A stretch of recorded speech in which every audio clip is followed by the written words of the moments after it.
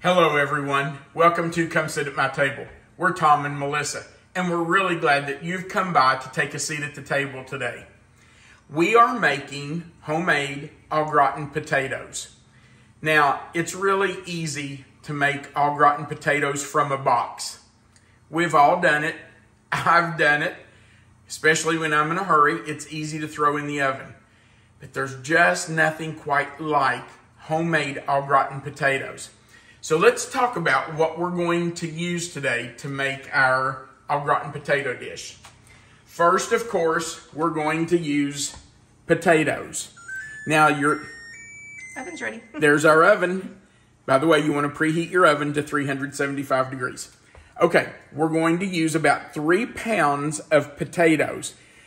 Now, if you use a really watery potato, and I'm not going to name them all, but if you use a watery potato, your au gratin potatoes are going to be watery. If you use something like a russet potato, something that's not watery but is more starchy, then your your dish won't be watery. In fact, the starch will help to make it thick and creamy.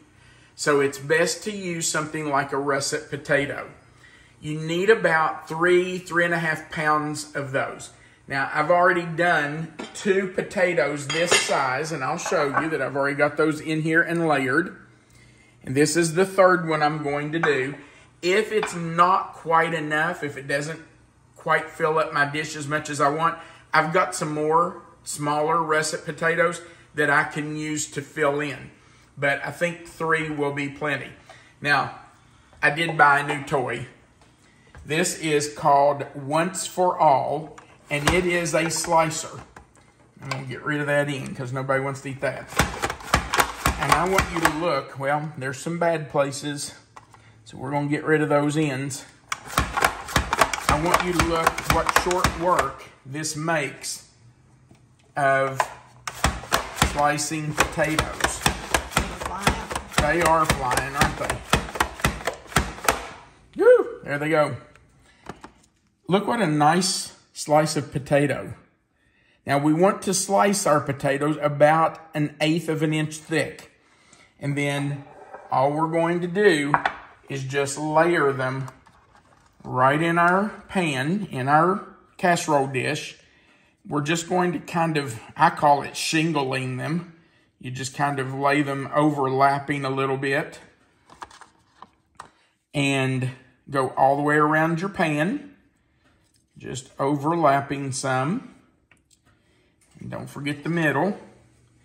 And you know, I thought I was probably going to use another one, but I think that's fine right there. That's going to be enough. So that's all we need. Now I'm going to throw away these ends that had a bad place.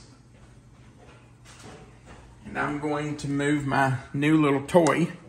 Isn't that an awesome way to slice any kind of hard vegetable like that? It's called a Once For All, and I'll tell you, I ordered it yesterday on Amazon and got it this morning.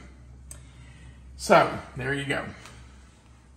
I'm going to set my potatoes over to the side, and remember I used three of those. It was about three pounds. Now, we're going to also use three tablespoons of butter that I'm going to melt in a saucepan, and I'm going to go ahead and start that.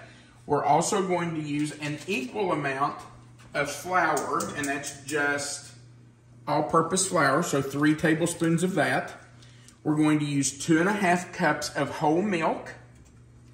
Then we're going to use one and a half teaspoons of salt and half a teaspoon of pepper. We're going to add one teaspoon of Worcestershire sauce. I'm also adding some grated Gruyere cheese, and I'm going to show you that. This is a smoked Gruyere. But let me tell you, you can use just about any melting cheese that you want to use. People use cheddar, mozzarella, Gouda, just about anything works. If you like it and it will melt, you can use it. So, you really just go to the grocery store, look in the cheese section, and have a good time. Melissa and I absolutely love cheese. And This is the one we chose for today. Now, because it has a little bit of a rind on it, and we are melting this, I am going to take the rind off. Normally, if we were just eating the cheese, if we were just slicing it and eating it on crackers or, you know, on a char charcuterie board or something, I would leave the rind on there because I, I think it's pretty good. But since we're melting it, I am just going to take just a little bit of that rind off just to make sure that it melts. Now, let me get rid of that. And I will show you, let me move this down here where you can see it, Melissa. We need about, now that was an eight ounce package, and we need about, oh, I'm gonna say 10 to 12 ounces. So I'm just going to grate a little bit more of this to go with what we already had grated grated. Sounds like I'm saying G-R-A-D-E-D, like I grated papers, but it's grated. It's just my West Virginia hillbilly accent coming out. Can't help that. So let's just get a little bit of that grated in there. Okay, I think that should do it. If we need more after we make our sauce, I can always come back and put more in it. Okay, so let's go down here now. We're going to take our flour. Melissa, you may... I'll come around you. Okay. And I'm going to move that lid out of the way so it doesn't get too hot. All right, I'm going to turn this up just a little so that butter melts. And then we're going to put the flour in. and let that start to cook. And I'm going to turn this up to about medium because we want to cook that flour. If you don't cook that flour for, oh, probably a minute at least, you're going to have a raw flour taste to your, your um, cheese sauce. And you don't want to taste raw flour in your cheese sauce. So I'm getting all that down off the sides so it can cook. Mix that butter and flour in together really well. Let it start cooking there. You can see it's starting to bubble. It tells us it's cooking. Now, while that is cooking there for just a second, I'm going to go ahead and measure out my salt one and a half teaspoons and a half teaspoon of pepper. Okay, let me stir that. Make sure that's cooking really well. Okay. Now I'm going to start adding my milk. This is two and a half cups of whole milk.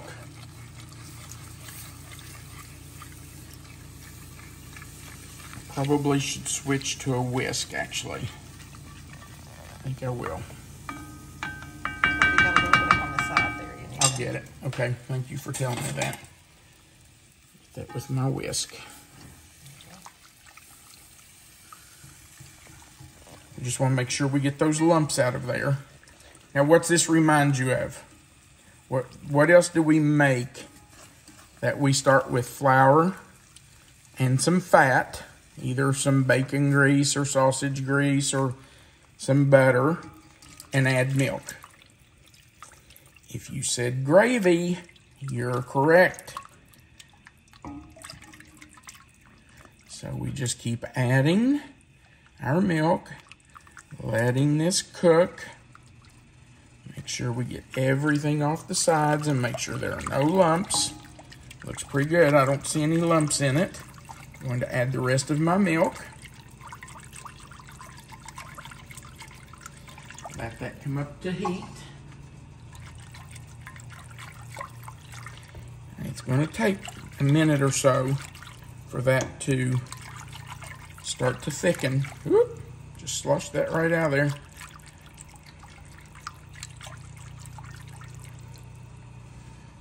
let it cook here for a second. You know, au gratin potatoes are one of our son-in-law's favorite foods. He loves au gratin potatoes. So I guess we should have called and told Luke to come over tonight, huh? He's probably tired after working, though. Does anybody know the difference in au gratin potatoes and scallop potatoes? Is there a difference? Yes, there is.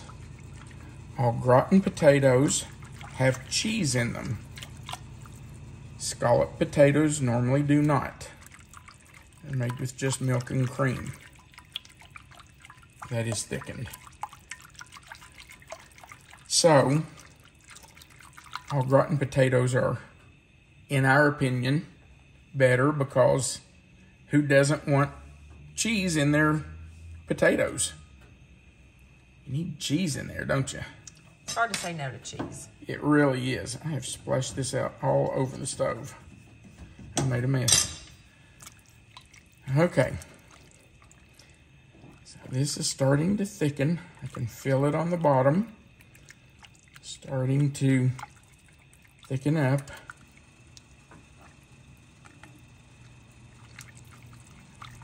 It just takes a little while. You have to be patient. Give it time. We had a couple of subscribers who posted messages to us on other videos and asked for an au gratin potato recipe. And I think this one is really good and very simple. It's got very simple ingredients in it. Oh, let's go back and talk about the cheese. I don't think I finished that. We used Gruyere, but you can use just about anything that will melt. Mozzarella cheese even works. If you like mozzarella, you can use cheddar. Now, I'm just going to be honest with you and tell you cheddar's not my favorite in, in au gratin potatoes. I don't dislike cheddar, but it's not my favorite in au gratin potatoes. You can use Gouda, Fontina, Havarti, and I don't want to get anything started, but you can even use Velveeta. Velveeta works. So if you like Velveeta, use some Velveeta in it. Uh, probably half a pound of Velveeta. Eight, eight ounces, ten ounces, somewhere in there. Can you see that this is starting to thicken a little bit? Yes. Yep. Bubble. Yep, starting to bubble around the edges. I'm gonna turn it down just a hair. Um, but any cheese that you like that will melt will work just fine in this. Of course, if you use something like a cheddar, it's going to be a different color. It's not going to be white like this. If you use Havarti or Gouda, you know, it's going to be the color of that cheese. So, you use the cheese you like. If you've never made homemade au gratin potatoes, I really would, I'm going to turn this way down now. I really would encourage you to try Gruyere and smoked Gruyere if you if you like the smoky flavor. We like that. We did see one at the store that was a It was smoked bacon Gouda. yes. Gouda. Oh, that would be good too, but we opted for this. Okay, I'm going to turn this way down because it has thickened, and I'm going to start adding my cheese. Oh, I know what I didn't add. I didn't add the Worcestershire sauce. I'll do that. Okay, so I'm just going to stir in my cheese a little bit at a time, handful at a time, trying not to spill it as I move it over here.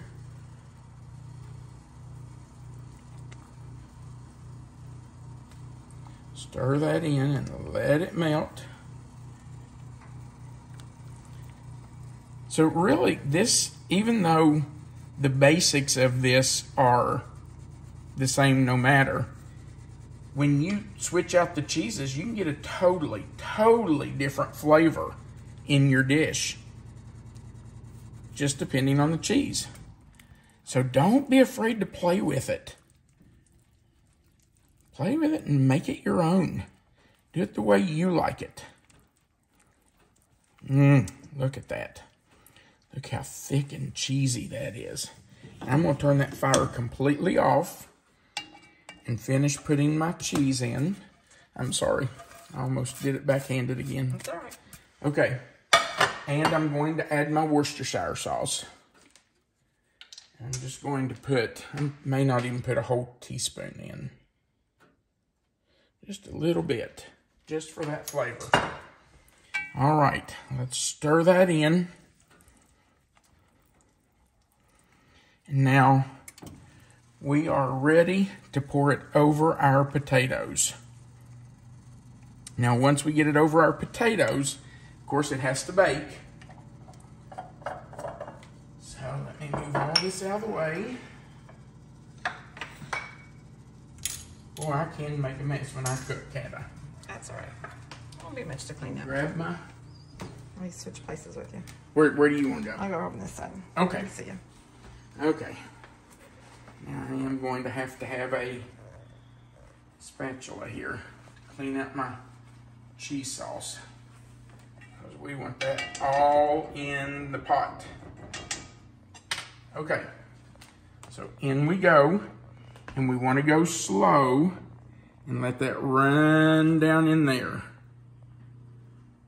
All over those potatoes. In fact, may even take a fork or a knife and just kind of move them around a little bit to make sure that it's all down in there. We sure don't want a dry spot, do we? Oh yeah, see it going down in those crevices and holes? You want it to cover everything. Did we talk about the panko? Well, we mentioned it as an ingredient. We I'm did? Not sure what else you want. I think. Okay. Maybe I I, couldn't remember saying because it. I knew it, so I don't know. Okay, I'm going to grab a spatula here. Give me just a second, because I want all that out there.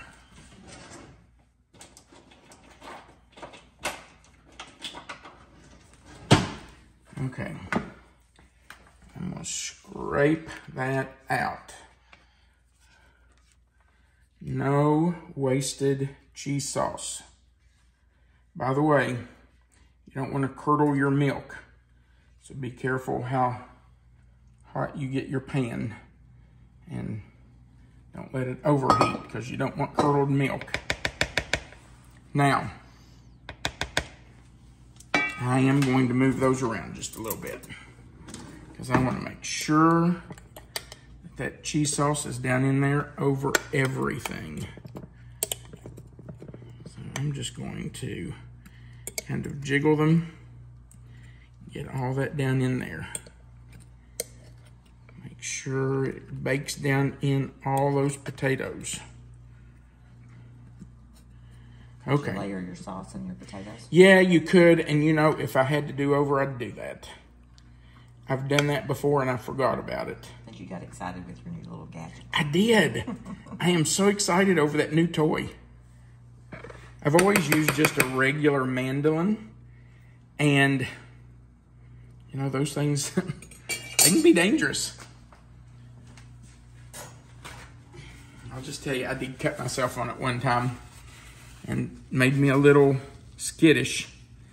So when I saw this new slicer, I thought, "Yep, that's for me."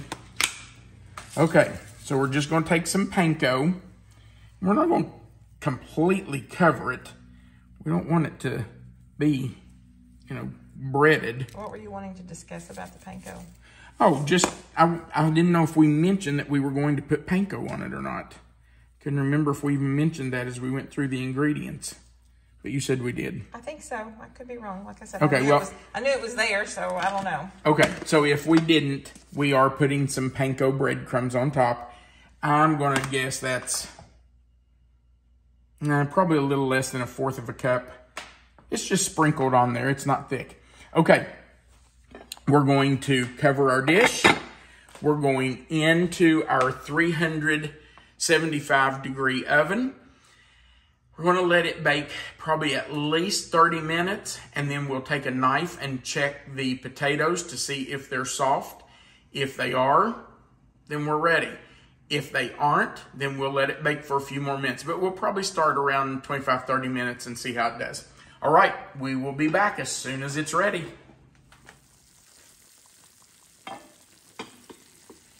Our potatoes are out of the oven. And first, I must tell you that Melissa has told me that I made a mistake.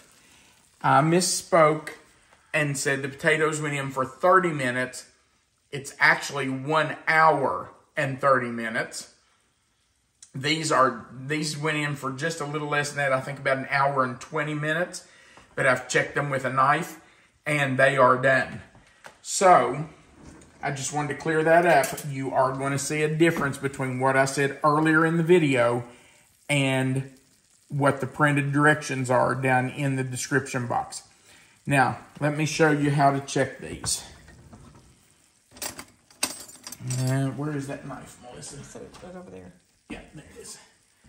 So, this is the way you check it. Just take a knife and go down through the middle of the potatoes if it goes right in with no resistance and comes right out, you know it's done. If the edges, the edges should be plenty done if the middle is done.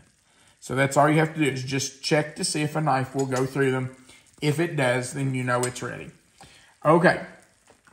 Now, you can't really just scoop these out one layer at a time. You just have to kind of go down in them, get a scoop, and take it out. Yum. Look at that. It's delicious. It sure does. And it smells really good too. Oh my gosh, our house smells so good right now. I'm gonna move that out of the way so I don't get burned. These are gonna burn my mouth, I can already tell. Look at the steam coming off of them. We could take a, just a little break and come back in a minute so you don't risk burning. That might not be bad. Before I before I take a bite though, let me ask you to go right below the video and click the thumbs up. That just says you like the video. If you've never done it, we would appreciate you clicking that subscribe button, the little notification bell beside of it, and the word all. That just subscribes you to our channel. That's how we build our channel and have more people. And we really would appreciate you doing that. Also, Remember that right under the video where you see the title of this recipe, if you'll click that title or anywhere in that box, that box will expand. Melissa always puts the written recipe for every one of our videos in that description box. And right under the recipe is our contact information. And then, of course, under that is a place where you can leave a comment. And we do appreciate those comments now. I really meant like a bigger break than this. But... I know, but I want to try it. I love smoked Gruyere. And of course, I already know these are good, but we have to take a bite, right? Babe, you don't want the first bite? No, I'm good. I knew you wouldn't. It's too hot for you, That's it? right. I think it's too hot for you, but it is. I warned you. I'm not worried about the potato so much as I am the cheese.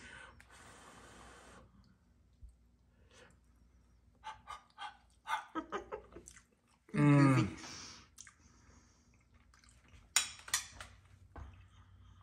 That smoked Gruyere is so good. It really is delicious. Wow. And I'm just going to tell you, that pan will feed Melissa and me for the next several days. We will have that with every meal the next four, five days. Okay. I'll eat the rest of those in a minute. Thank you so much for watching our videos. Please, if you would, go down and click that thumbs up and that subscribe button and leave us a comment. Don't forget to click the description box so you can get that recipe. Thank you for watching. We sure do appreciate it. And we want you to remember, you are always welcome to come sit at my table. Have a great day.